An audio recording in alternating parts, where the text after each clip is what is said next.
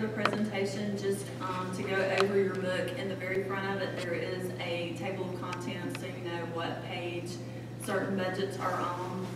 Um, The second section is a copy of this morning's presentation. Um, Following that is a one-page personnel summary that will show you the actual from the last several years, what was budgeted last year, where we are currently, what the requests were and what the proposed were and what those percentage changes. Um, and that is a one-page summary on that. And then behind that, you have the detail of the budget, that is the full budget. Um, this morning, I'll go over the presentation and then if you have any specifics, we can go over that as well. Um, as always, I, I start this presentation out with the organizational chart of Lowndes County, and, and I know it's difficult to see on, on the screen, but there is a lot of different departments that are funded, um, at least partially by Lowndes County, but the ones that fall in the center there are the ones that fall under the direction of the Board of Commissioners. So there's a lot outside of your direction that are still funded by the county. Um, also, I usually start out with the millage history. Um, last year, the millage was set for the county portion at 8.406, which was down slightly from 8.601. You also have the industrial and recreation millages, um, that add to the countywide millage, and then you see that, um, black line at the bottom that, um, was about two and a half percent or two point five mils, that was the fire millage that was set last year that applies only in an incorporated area. A comparison by fund, the general fund is up five point nine one percent from last year. Under your special revenue funds, your commissary is up sixteen point six eight percent. That's due primarily to some shifts from the jail operations fund, um, funds and the add-on funds that are going to some of those special funds, um, are down currently. And so there was a shift of some of those costs between the jail fund and the commissary fund. Um, the state drug seizures and federal drug seizures, because those aren't actually on our books, I just removed those off of here, so that's why they look like they go away. You have the law library fund, which does not change. Accommodation excise taxes, um, are looking very, very healthy right now, so we're anticipating a forty-six point six seven percent increase in those at this time. They were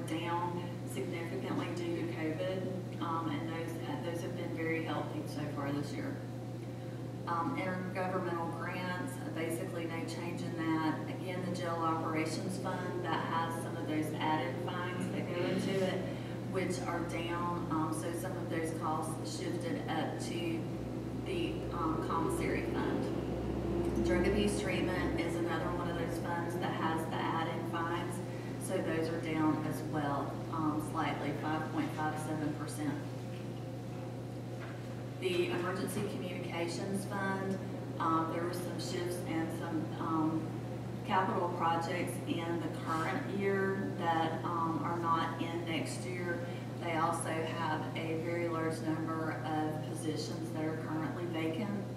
Um, so that's showing down 5.15%. Victim Witness Fund, um, that is another one that has those add-in funds that are down. So it is down 1.07%. The Special Services Fund, down five point four three percent. Um, there were some, uh, capital projects in there as well. The Fire Services Fund is virtually flat at one point six one percent. Um, over under your capital project funds, SPLOST eight, um, you know, we saw last year the beginning of some of those increases in sales tax collections. Um, while those look relatively flat this year, that was an increase over prior year budgets of about fifteen percent. No change for the T-SPLOST and the public roads. Uh, water sewer is up about twenty-two percent. Um, part of the increase in the general fund and the water sewer has to do with the ABM project. Um, the first year of those costs and debt service, um, are in this year's budget so you'll see those reflected in both water, sewer, and in the general fund. Landfill fund is up about 12.5%.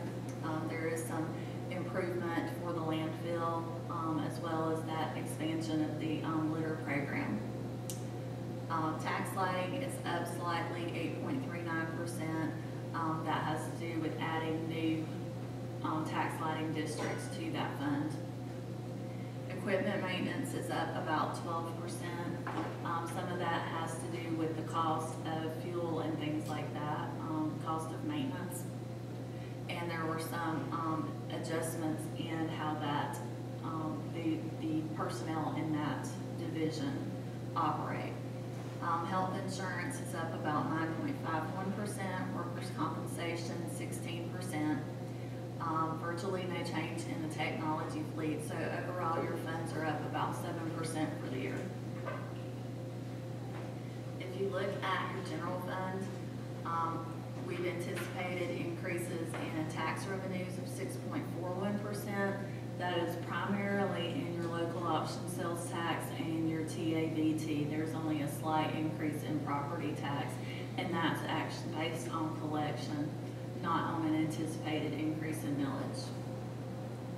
Licenses and permits, um, the reason you see that increase there is last year we had anticipated moving the stormwater program into the special services fund, but we decided against that, so that's just putting that back. Intergovernmental is down slightly, ten percent.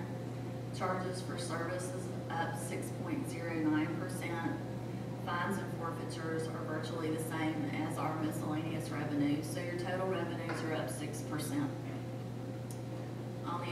expenditure side of general government, 1.4%. Judicial is up 2.5%. Public safety, 6.94%. Public works, 14.55%. Health and welfare, 4.15%. Culture and recreation, 5.46%. And housing and development, 3.81% for total revenue, or total expenditures of sixty-four million, four hundred seventy-five thousand, eight hundred sixty-one dollars, which is up about six point seventeen percent. Ms. Black, Yes, sir. what drove up public works?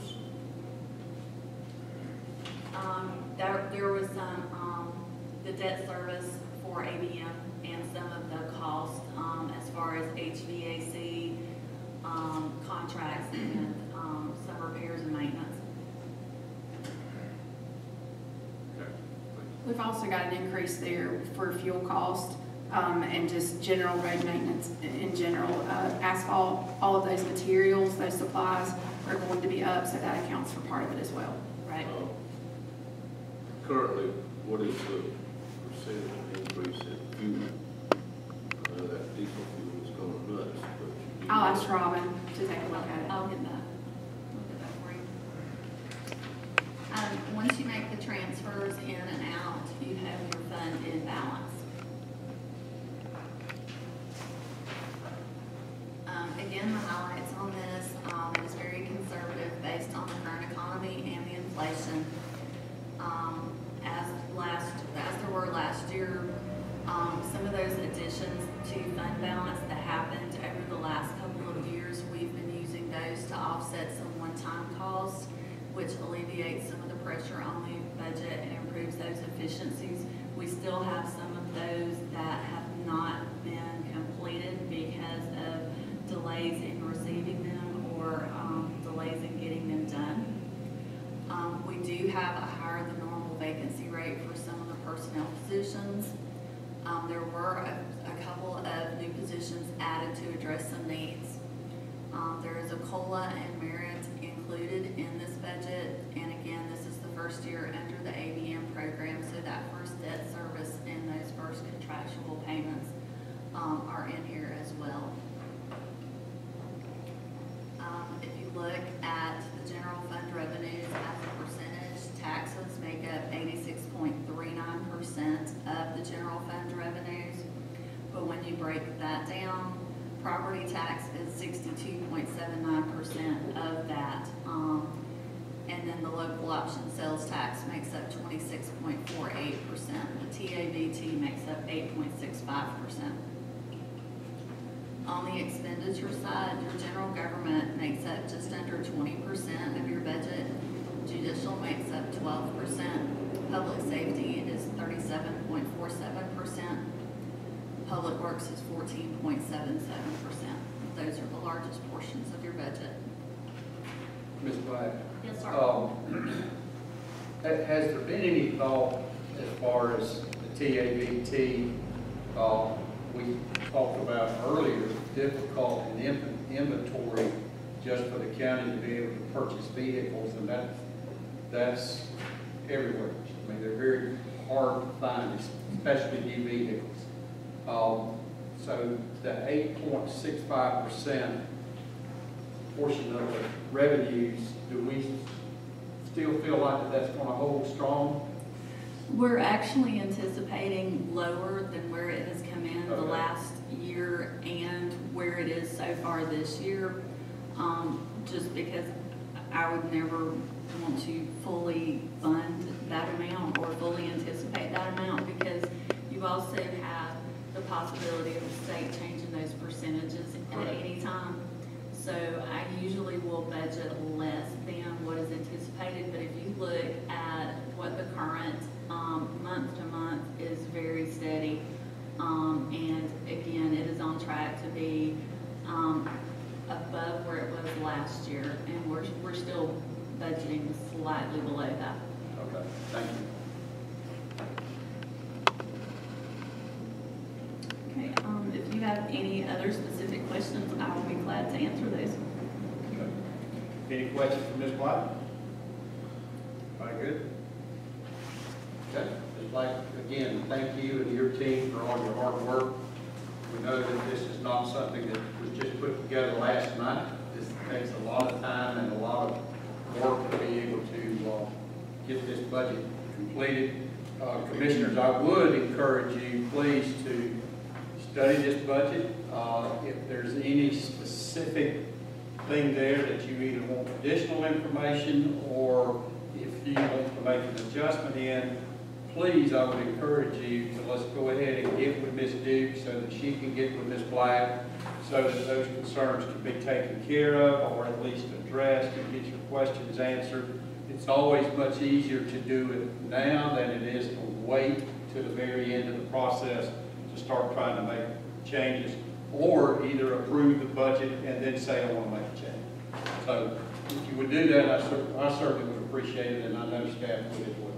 Absolutely, Mr. Chairman, I know that we covered this um, already with our thanks to the finance department, Stephanie and her staff with regards to this, but that is a very small department in staffing, and they are down to critical positions right now.